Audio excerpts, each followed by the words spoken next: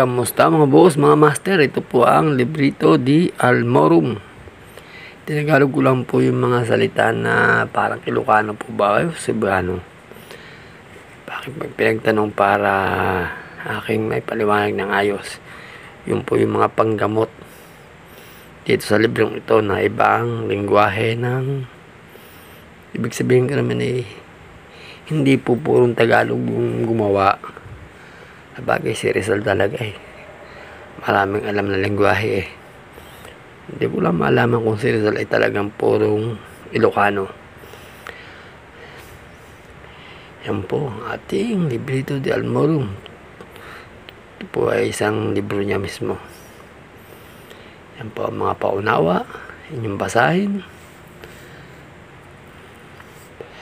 Pamilin na libritong ito natin nilalaman. Kaya po po naisip Tagalogan yung mga salitang iyon para po mapakinabangan ng mga Tagalog mismo. Ito naman po makapagaya na rin nyo. Samahan nyo lang ng pananampalataya at pagtawag sa Ama. Pag kumasip po ang Ama, walang imposible. At pag po tayo masyadong magtiwala sa sarili nating kakayahan dahil may mga orasyon tayo. Magtiwala tayo pag ikinasi ng Ama. Nagagana, gagana. Dahil ang ama may-ari ng lahat ng bagay sa mundo. Pati alabok, mga orasyon, ano man nandito, peram lamang sa atin ang kaitasan ng ating Panginoong Hesus. Yan po ang kanyang orasyon. Tulungan niyo po ako sa aking pamilya na ilayo sa lahat ng disgrasya, peligro, bigyan nawa kami ng kung ano man yun. Yan po. Aral ng mga lihim na karunungan pamana. Sa pamamagitan ng banal na Diyos Ama, igusong prinsipyong, igusong verbum, o, au, yuk. Kopyahin nyo na lang po. So, agad may kopya na po tayo dito na mas mahaba. Yung isa po natin ito mas mahaba. Ito po lang, kaya po share ko itong mismong libro para matagalog natin yung sinasabi ko sa inyo na ibang lingwahe. Dahil ang nakalagay po doon tambal, ganoon. Hindi po kasi naiintindihan, hindi po kasi naiintindihan ng iba. Kaya po naisip kong Tagalogin.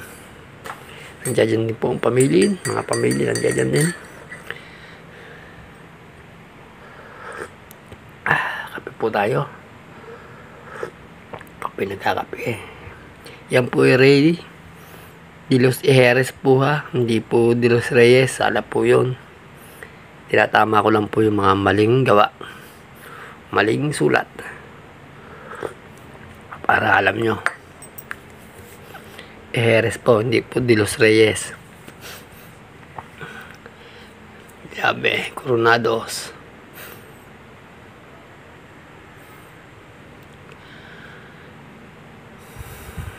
Latin, mababagsik, mababaksik. Ang mga orasyong ito ay makapangyarihan sapagkat kung ano ang iyong isipin ay mangyayari. Ito po electromagnetic power. Yan, electrum. Ano mga po isipin nyo ay magaganap. Maganda po ito sa panggagamot. Pumili lang po kayo na sapat yan yung ego.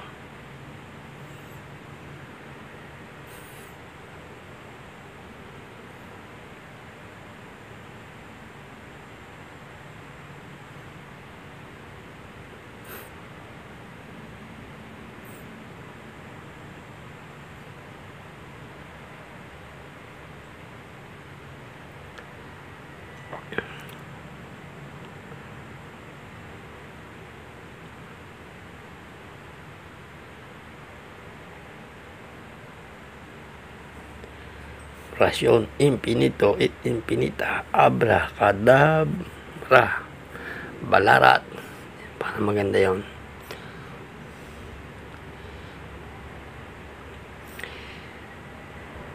dami. Pumili lang po na sa doon. O nyo lahat. Kung maluwag ang memory nyo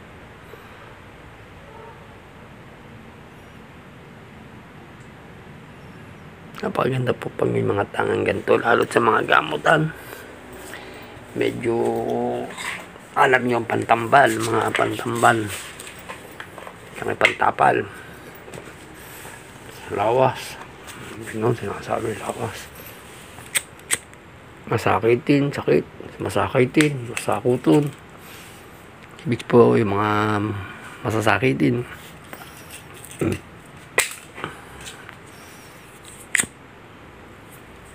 Orasyon.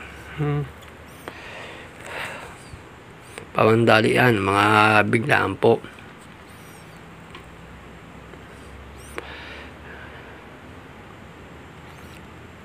kahit anong sakit po nandito pero hindi po may, may mga kulang pa rin yan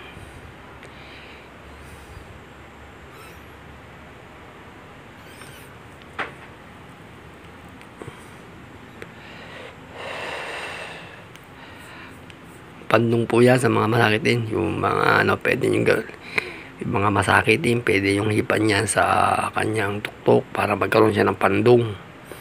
Para po hindi siya masyado tamaan ng mga sakit.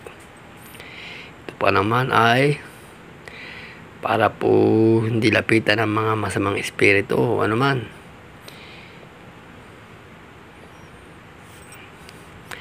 Ito po naman ay gamot sa ngipin yan pangipin po yan. Pangbunod sa ngipin. Ito po ng bughat ay sa baynat pantapal sa baynat pwede ding pampaligo. Lagay nyo sa asin ihip nyo. Kaya tubig. Pangkusagra po yan. Pangkusagra yan ay sa lahat ng orasyon yan pwede nyo kusagra tatasalan yung orasyon iyon hawak nyo yan. Pangkalag yan. Eh kambot po yan sa mga kinukuhang kaluluwa ng mga masamang espiritu. Mga lumaliw ang kaluluwa sa katawan gamot yan. Ito po ay sa masakit na sikmura suul yan. Sikmura po yan. Tambal sa sikmura suul mga nasakitan sikmura ito po naman ay pang-usas doong tugay ng sakit. Sa mga sakit na matagal na. Mga hindi mapagaling na sakit pwede yan. Ito po ay sa pasma. Pasmo pasma po ibig sabihin yan. Tambal sa pasma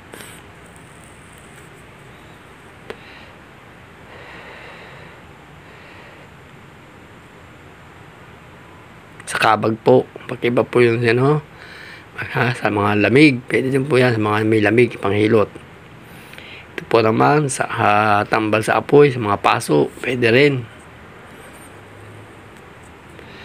Ito po hindi ko mga alam yung isang yan. Tungin na nga yan. Parang tungin na eh.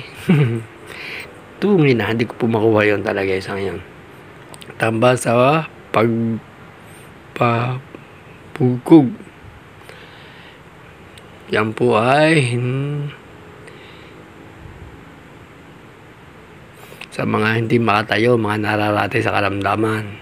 Yan. Pwede po yan. Para po panggamot, pwede ibabad sa tubig. Pwede ihilot. Ito po naman ay lagnat. Hilanat po yan. Tambal sa hilanat. Sa mga lagnat. Pwede pantapal. Sa mga may lagnat. Pwede panghilot. Ito naman po, kung kayo palalabas ng bahay, baba na hagdan, pinaka-protection nyo. Bago manggamot, pwede din po yan.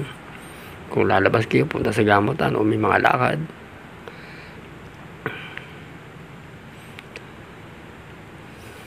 Ito po ay pangalang itinago. Yan, maganda po yan. Kayo na po ang bahala mag-ano niya kung saan nyo gagamitin ng isang yan. Lihim na pangalang itinago po yan.